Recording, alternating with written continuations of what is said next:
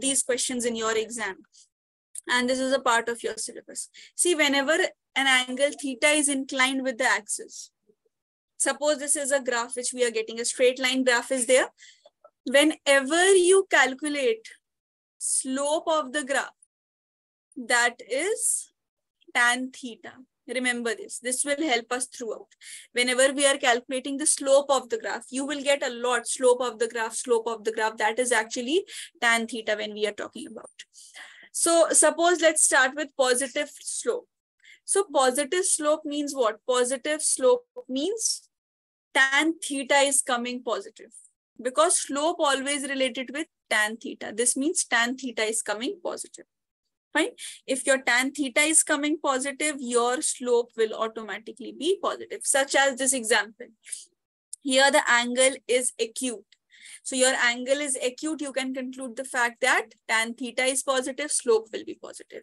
Just opposite to this, suppose the angle is obtuse. I hope you all know what is meaning of obtuse and acute. Acute is less than 90, obtuse is more than 90. Like 120 degrees obtuse angle, 60 degrees acute angle. Negative slope means these types of graphs where your theta is obtuse. So because of obtuse angle, those have value negative like uh, sine 120 if you take, cos 120 if you take, these values are in negative. So your tan theta is also negative and the slope of the graph is also negative. Fine, the slope of the graph is also. A third case you can get where the slope is neither acute nor acute the slope is zero. There isn't any slope in the graph which we obtain. Means no angle is there. Angle is zero. This is the third case which we see. Where slope is zero means your value of tan theta is zero. This is how you start the basics of the graph. Fine. This is how your graphical concepts will build. Quickly now, note down this. Then we'll start with types of slopes. Fine. We have to study types of slopes. Note it down.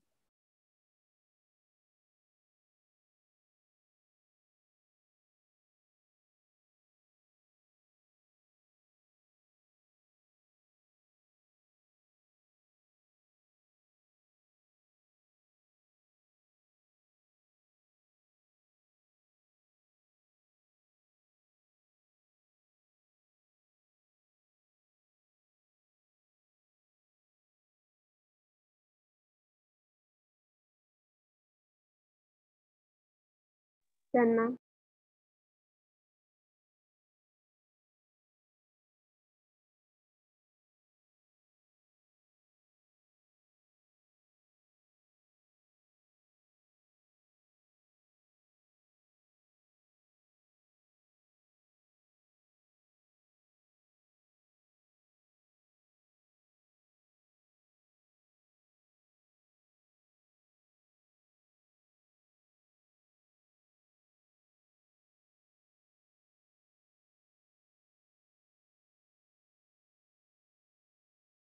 You can scroll.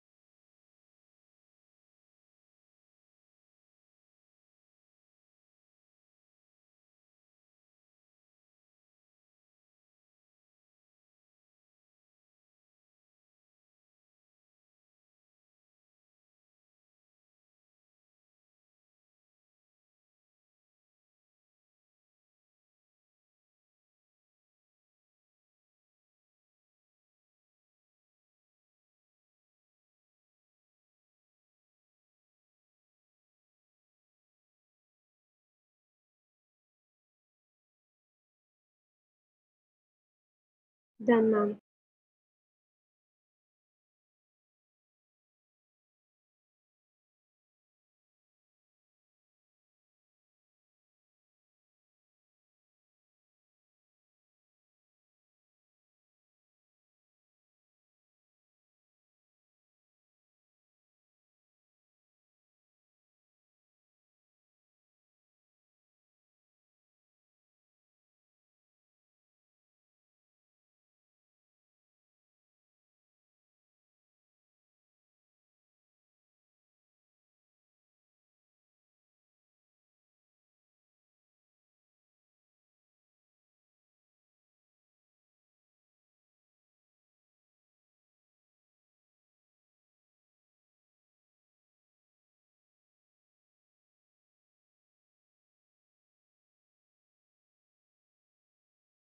Done.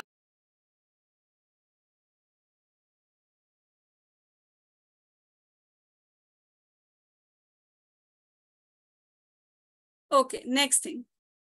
Now, uh, see types of slopes. So this type, the slope that is present, that can also be constant, that can also be variable. See, if I give you the example of this graph, look here. If I draw a line here, there, let's say this angle that was obtained, this angle is theta. Now I have taken a line, I have marked this line as the x-axis. Now I have taken this angle. This is also coming as theta. Let's take another point. This is also coming as theta. So slope we usually represented with the letter M. Slope is represented with this letter M. So M, let's say this is A point, this is B point, this is C point. You have three points over here. A, B, and C. So slope of A is equal to slope of B is equal to slope of B. How can I say this? Because all the values of tan theta are coming same. It's not like you are having theta 1, theta 2, theta 3 as variables. All the values of angles are coming same. And when the angles are same, tan theta will be same. And when tan theta is same, your slopes are same. So such slopes we call as constant slopes. So whenever in your exam also you are having a particular question, you have to identify whether the slope is constant or variable by looking at the angle. This is the way you can calculate. Now, this is constant. Suppose you have variable slope it can be increasing slope it can be decreasing. Both the things can happen. So again same thing. See suppose this is an example of increasing slope just take let's say i have taken this point. This is some angle theta. You by your calculation on your observation only tell me aren't all these angles different? See values of angles is increasing. Values of the angles are increasing. This was very less. Look here Let's say this is A point, this is B point, this is C point. Theta C is the greatest. Theta B is there and least you have as theta A. A, B, C, if you see, this is, the, they are different. This is theta A, this is theta B, this is theta C. You can see theta C is getting increased. B was less, A was less. This is getting increased. So your same thing will occur in slope also. Slope will be C if MC is the greatest, slope will be greatest for the C point. Slope will be lesser for this and least for A. So this is your increasing slope. This is how the slope increases. Coming to the decreasing slope, if we talk about this decreasing slope, same thing. See, take this angle. Take this angle. This is the first angle that we are considering, theta A. Let's say this is B point. This I am considering as theta B. Now again, I'll take an axis theta c. Do you see now the angles are getting lesser? They are getting smaller. This is the point C. Theta A is the greatest than theta B than theta C. So it means slope of A is greater than slope of B than slope of C. This is the conclusion. This is how you analyze your increasing graphs or decreasing graphs. Apart from these increasing or decreasing and variable graphs, you have the concept of, among graphs only, you have the concept of, see, graphs based upon equations. We have seen so many equations, right? V is equal to U plus AT, S is equal to UT plus half AT square, V square minus A square is equal to 2S. Do you see the difference in the powers of this? V is equal to U plus AT. There isn't any power. Power is just one. What type of equations are these when the power is one? We call them as linear equations. I'll show you it. See, linear equations means your y is directly proportional to x. Best example, all of you have studied it recently only. Example will be v is equal to u plus at. You can see variation of velocity with time. Velocity's power is 1 times power is 1. This is linear equation. In lean this is the most important topic. From here your main part of the class 11th will start. All were the basics before this. The slopes which we had seen zero slope positive slope negative slope those were just the basics. Straight line you will get when you have linear equation if you have quadratic equation for example this equation all of you have already studied s is equal to ut plus half at square graph between s is 1 but the power of time this is 2 so this is a quadratic equation where your variable, one variable is proportional to square of another variable. Y is directly proportional to square of X. This is a quadratic equation. It can be a parabola like this or it can be a parabola like this. Both are valid. It can be like this also. It can be like this also. Both are valid. But wherever you see them, you can conclude the fact that this is quadratic equations graph.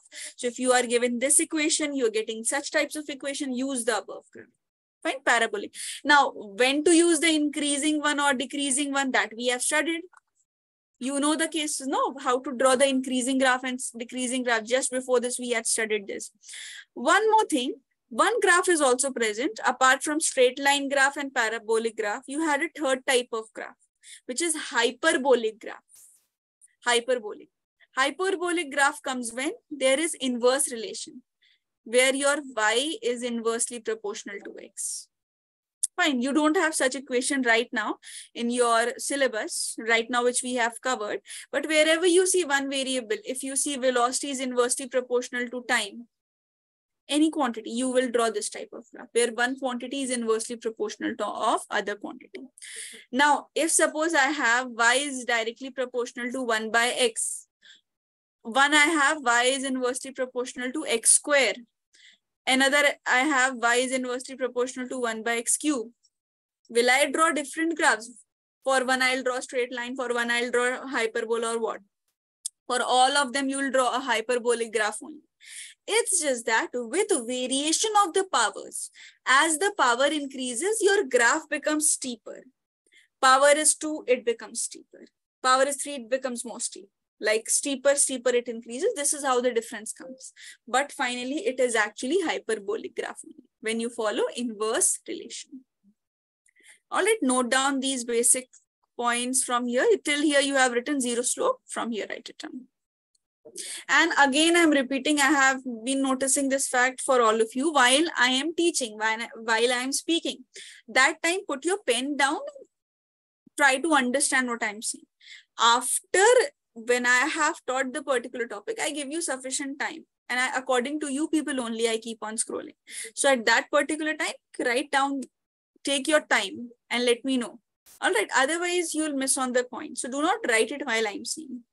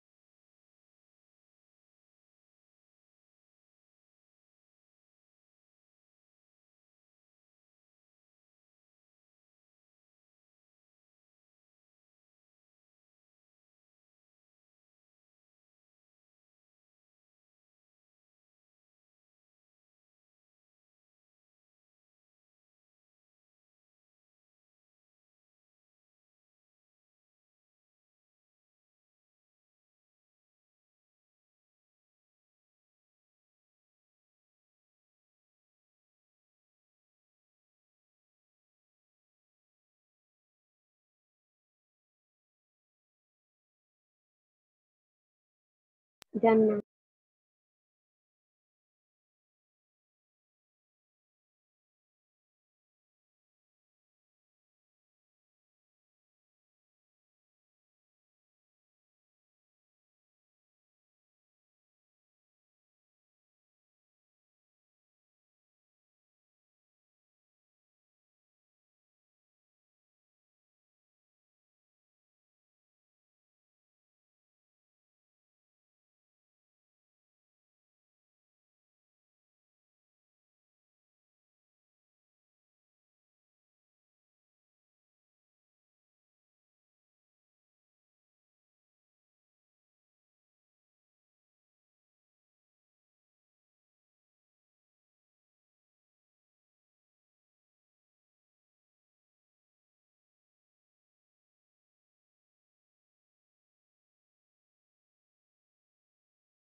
I'm, I'm gonna go back up.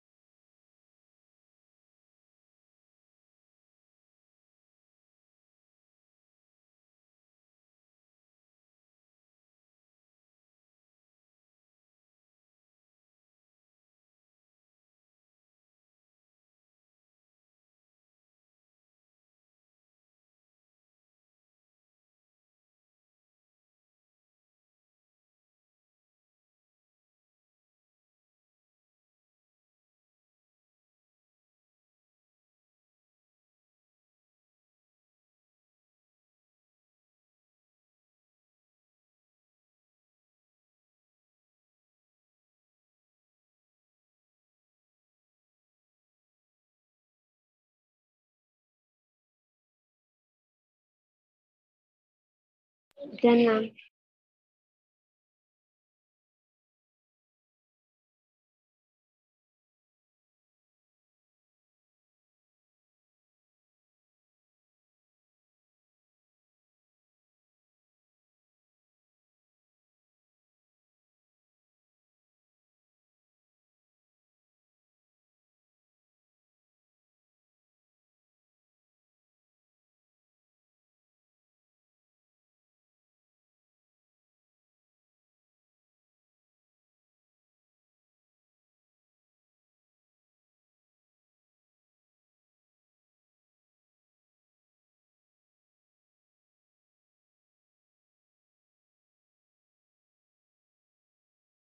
Done, ma'am.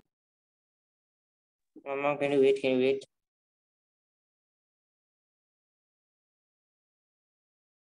Yes, uh, Martin, you're asking something? No, ma'am, I just want you to wait. I'm writing right now. Above part, this part. No, ma'am, I'm writing right now. Okay, okay, okay.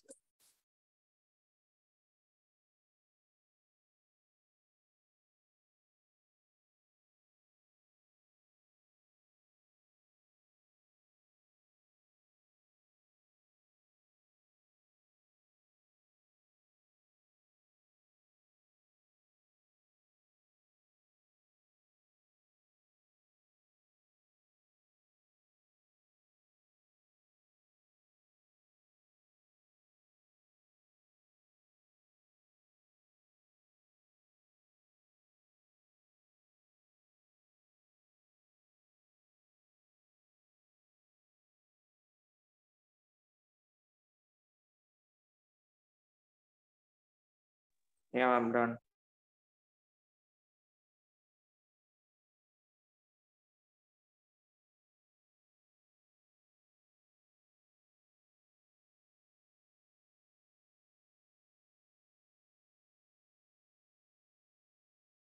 Now, coming to your actual content which you have position versus time graph, you have velocity versus time graphs, acceleration versus time graphs. Graphs will be applied like this. So all the portions we have studied were the basics of graph. Without that, you'll not be able to understand any graph. Those are your basics which you study till class 10th. But because it is not given separately in any of the lessons, that's why we sometimes forget it. Now, this is, concept remains the same, but you have to understand slope or tan theta will be what? What we have studied till now, that if suppose this is theta, this is some angle theta. So slope of the graph is given by tan theta. And how do we write tan theta? Perpendicular divided by base. What is the perpendicular? This is the perpendicular. This is the base. What is your perpendicular depicting? The position what is the base depicting? The time. What is distance divided by time? Which quantity do we get? Speed. Speed, exactly. It means x versus t when you have, so x by t, that gives you velocity means when you are actually calculating the slope, continuously we have been discussing about slope slopes zero slope positive slope negative slope increasing slope decreasing constant everything what exactly was it? It was actually the velocity in terms of position and time graph. It is actually the velocity with which of which we are talking about. Why? Because you can see tan theta, that is your perpendicular divided by base is actually giving you the velocity. So in your exams, if you have x versus time, t means position versus time graph, and you are asked the velocity, then you can simply do x divided by t, whatever values are given in the graph. But this is very easy. Will the questions always be like this? Questions will be very confusing. They'll change some, some values of it. Times value will be changed, x value will be changed. Suppose if I give you a condition, position and time both are zero, and value v is v has to be positive. Let me show you this. See, Suppose I give you this condition that time and position, these are zero. Fine.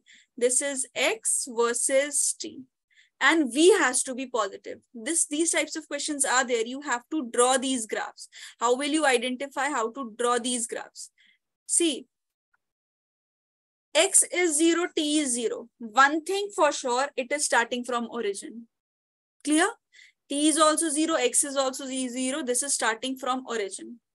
Nextly, v is positive. What was v? Slope. Slope positive. Positive slope graph we have studied. Straight line where all the values of theta were acute. Remember, here we had seen the positive. Haan, dekho, positive slope. This is how the positive slope looks like. If you are starting from origin, it would look like this. If you're not starting from origin, it would look like this when your theta is positive. because ultimately we have to find slope as positive. And what is our slope? V velocity. So everything is being satisfied over here, right?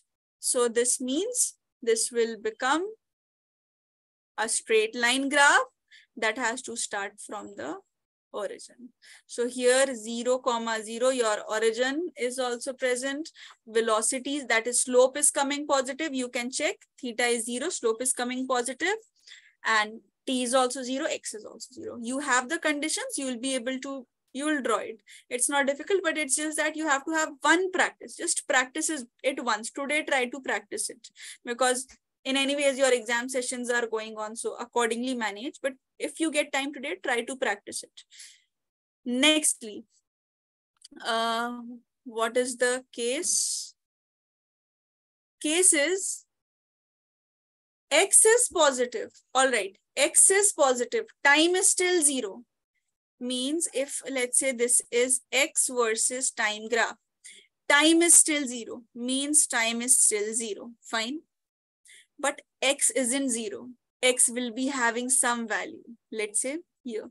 That value is that value will be given to you in the exam. Right now we are just practicing. You should know how to plot graphs in every situation, right? T was zero, so we came here, right? When x was positive, x will be here and v positive means instead of starting from the origin, right now our graph is starting at a value that is excess positive, like three meters. Suppose this value is three meters. Here the value is three meters. So our graph is being drawn from three meters.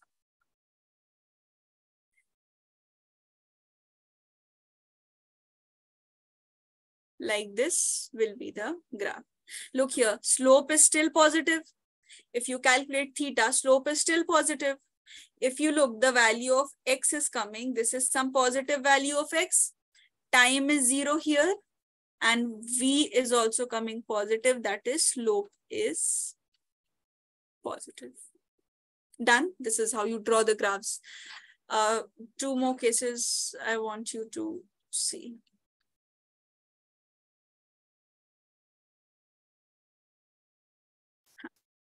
This says that, okay, t is 0, x is 0, but velocity is negative. What have we studied regarding negative velocities? We have studied that. How do we draw the slope? Theta has to be obtuse. X versus time. Theta has to be obtuse. Obtuse means more than 90 degree. Negative slope. Our slope is negative. Whenever it is velocity from x versus t, position versus t, time, understand quickly that velocity is negative. Uh, slope is negative. Now slope is negative, theta has to be obtuse. See class, if I draw it like this, suppose if I draw it like this, will it be correct? Is it starting from origin? Because now my it is x is zero, but t is not zero here. t is having some value, but we cannot take. So what we'll do, we'll draw it on the opposite side because that is only possible. This is the origin. If I draw it like this, in any plane like this, what will happen? This will be acute only. So graph will go here. Graph will go here. You can extend it further. You can write it as x dash x and x dash time. This is how the graph will look like. Obey by the instruction. Abide by all the instructions. Next case, last case is x is positive, again time is zero and velocity is negative. So x versus time graph. See, time is zero. So switching to the axis as zero, fine. x is positive, some value of x, which must be positive, like plus three meters, plus five meters, plus six meters like this and then we are having the negative velocity. Means slope has to be now negative. This is how we draw the negative slope. Theta is still obtuse if i extend it. You can see theta is still obtuse right? This is how we draw the graph note down all these four cases understand these these are very important. This from here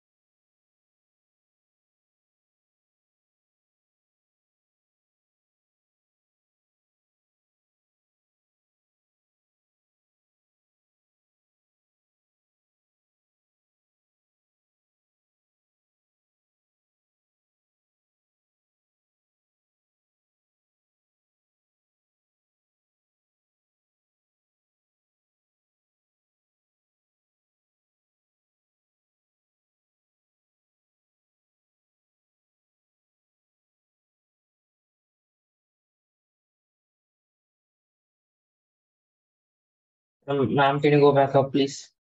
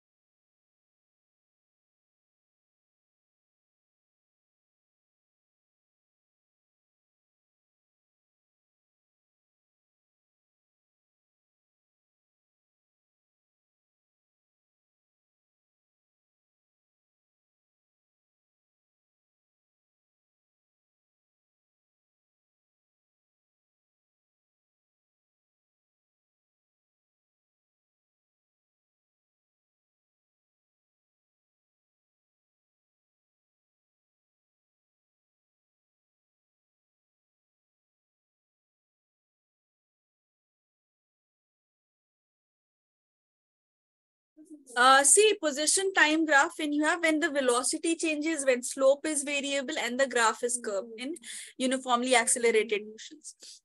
See, when the slope increases, right now we were talking when the slope was constant, right? Velocity was either positive, velocity was, or it was negative. If the slope is increasing, so whatever you have studied, no, the increasing slope graph, this graph, this is it. X versus T, increasing slope. And similarly, if velocity is decreasing, earlier what we have studied there, velocity was constant. If velocity is decreasing, velocity versus time.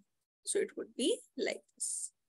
Now, uh, okay, quickly note it down. Then we'll start with velocity time graph. This is now easier to understand in, because you have already studied one thing, but quick, quickly note it down and text me done so that I can start with velocity time.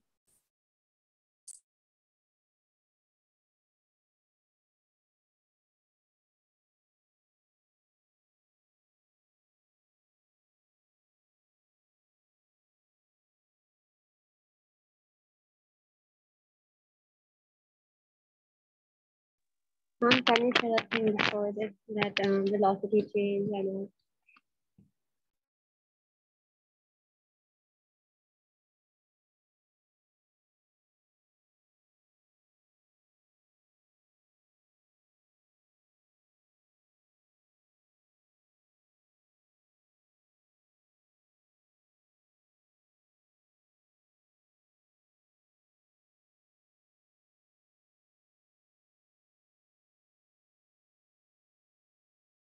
Now do you write this? Yes, yes, note it down. This part also.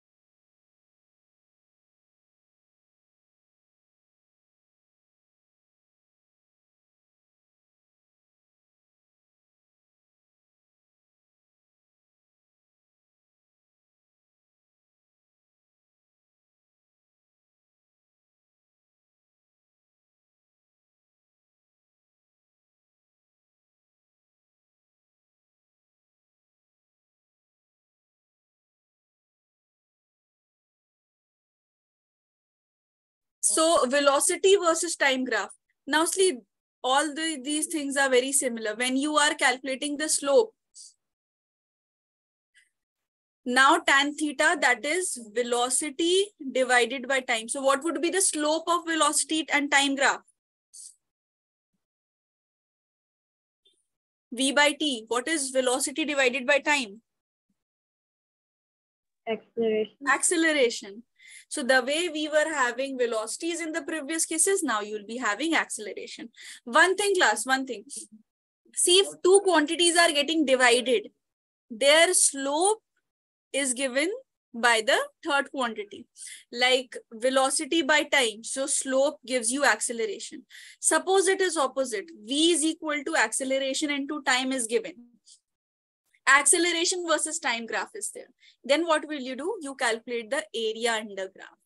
Instead of this this entire term you would have calculated had it been a versus t and that would have given you the velocity. Same thing goes for position time graph as well. In position time graph, x is equal to velocity into time. See, whenever there is division like v by t, x by t, the quantity gives you slope, right? Slope is calculated by division. And the new quantity, when it is multiplied, is given by the area under curve. This is given by area under the curve. This is how you will calculate. X is equal to V into T. Fine, this is how you'll calculate. Suppose this is given. So entire triangular area, half into base into height, like this. Right now we are focusing on the slope. So same thing, same cases. Slope of VT graph gives you acceleration and acceleration gives displacement. Area gives displacement. Slope gives you if you have velocity versus time graph, their slope that is v divided by t will give you acceleration. Its area that is acceleration into time that gives you displacement. Uh, sorry, velocity into time gives you displacement, right? So this is what has been written uh, uniform motion again area is zero slope is zero velocity you have to find out so these things now you will be able to relate this is the same thing only that we have studied this is uh, time this is velocity versus time graph that we have acceleration is zero slope is zero velocities if velocity is positive right your velocity is positive but acceleration is zero so if acceleration is zero this is how you get zero slope. We have studied zero slope. Second case over here, this is saying slow v is negative, but acceleration is still zero. Velocity is negative, but acceleration is still zero. So here what you will do, this is the graph, no? Uh, velocity versus time. Now you will draw it here. Means this is y, y dash. So it will still be zero, but just draw it with velocity as zero. Now you can see this content is negative. Here, this was coming positive and time is zero in both the cases. This is how you can relate it. And I think one more case is left. Okay, these separate cases. Yes, the separate cases are left, which we had seen in the earlier case. So now the way distance and time were zero and v was positive. Now you have velocity versus time as zero. So this is v versus t. So how will you draw it? Velocity is zero, so come to the axis origin. Time is zero, come here. Acceleration is positive, means slope is positive. This is how you get, you get your theta here. Similarly, acceleration is negative, you have velocity versus time graph. So acceleration is negative and velocity is positive in this case, right? Velocity is positive in this case. Time is zero, we have come here. Velocity is positive, we'll come here. Look, positive value of velocity. Acceleration is negative, means slope is negative. We have drawn it the way we have been drawing it. Next, uh, see, time is zero, velocity is negative, acceleration is positive. Look here. Time is zero, right? velocity is negative. So look here, first we come here, origin, time is zero. So we'll draw nothing on the x-axis. Come here, velocity is negative, so we will come here. Downwards we have come to the negative portion of the graph. And since acceleration is positive, in any ways you have to draw the acute angle slope. This is acute angle, this gives you positive slope. You have now obtained positive slope. So that shows that acceleration is also positive. This is how you draw all the graphs. Right, quickly note it down from here. This you have written, no? Huh, from here.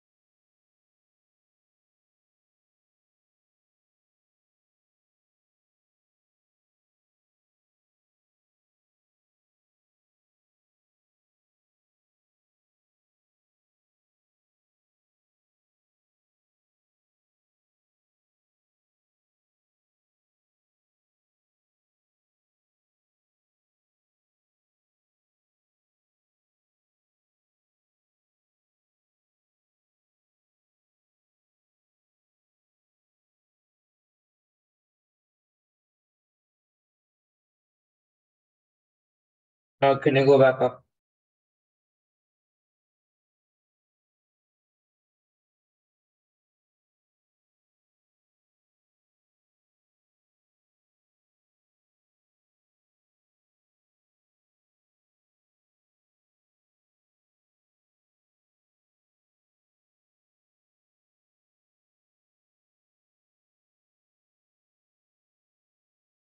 No,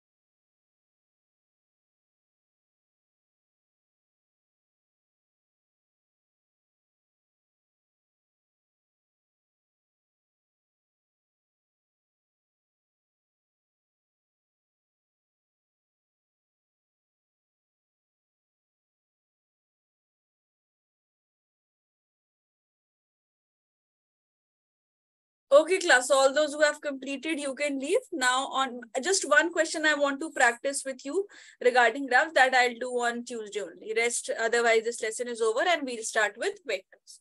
Okay, class. Yeah. Thank you so much. Okay. much. Thank you, ma'am. Thank you. ma'am.